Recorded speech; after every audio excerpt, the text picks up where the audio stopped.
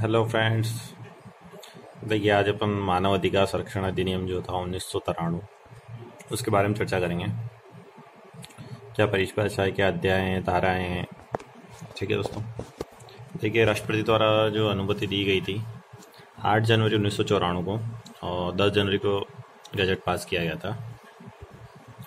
अधिनियम जो लागू हुआ था 28 सितंबर उन्नीस को लागू हुआ था। ये पूछा जाता है मानव अधिकार संरक्षण अधिनियम कब लागू हुआ था? तो उन्नीस सौ तिराणु। विस्तार इसका संपूर्ण भारत में जम्मू कश्मीर की कुछ सीमा तक। अधिनियम की जो सांख्यिकी है उन्नीस सौ की संख्या दस थी और कुल धाराएँ तरालीस है और अध्याय आठ है। तो ये पूछा जाता है कि मानवाधिकार संरक्षण अधिनियम में कितनी धाराएँ हैं? तो तरालीस और अध्याय आठ है। भारतीय गणराज्य के संदर्भ में वर्ष चौवालीस वर्ष में लागू हुआ था। और अंतिम जो संशोधन था इसमें तो दोस्तों, तेईस नवंबर दो हज़ार छह को। न्यायालय की श्रेणी देखा जाए तो सिविल न्यायालय और सत्र न्यायालय की श्रेणी में इसको। सदबनाव की कार्रवाई के लिए संरक्षण, धारा अड़तीस में इसमें। नियम बनाने की शक्ति, धारा चालीस में भारत सरकार द्वारा इकतालीस राज्य सरकार, धारा इकतालीस में भी राज्य सरकार बनाती है, धारा इकतालीस में।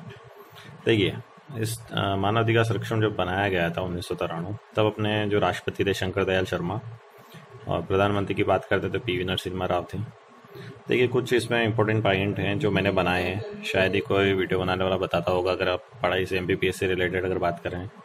देखिए, दस दिसंबर उन्नीस सौ अड़तालीस को संयुक्त राष्ट्र महासभा के द्वारा मानव अधिकार की सार्वजनिक घोषणा की गई थी। और अंतर्राष्ट्रीय मानव अधिकार दिवस 10 दिसंबर को ही मनाया जाता है।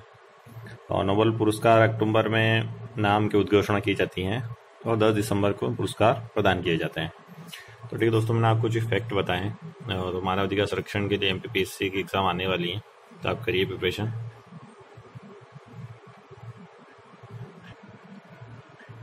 देखिए, अब अपन बात करते हैं मानव अधिकार संरक्षण के उन्नीस की जो कि धारा दो में।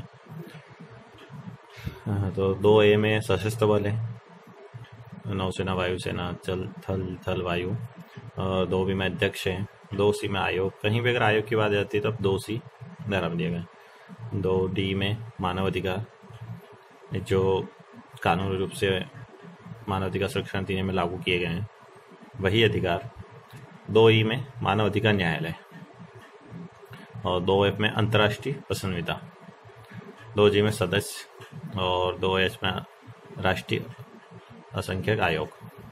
देखिए, दो आई की बात करते हैं, राष्ट्रीय अनुसूचित जाति आयोग। इसी में एक और पॉइंट बनाया है। दो आई ए, राष्ट्रीय, इस डीप में एक और पॉइंट बनाया इसका राष्ट्रीय अनुसूचित जनजाति आयोग। और दो जो में महिला आयोग। दो के में अधिसूचना, दो आई पे भीत भीत का मतलब सीधा नियम से है क्या क्या नियम बनाए हैं दो एम में लोक सेवक, दो एम में राज्य आयोग। तो ठीक है दोस्तों ऐसे वीडियो में आपके लिए एक शानदार बनाता रहूँगा। आप मेरे चैनल को तो लाइक कीजिए, सब्सक्राइब कीजिए। जय हिंद, जय भारत।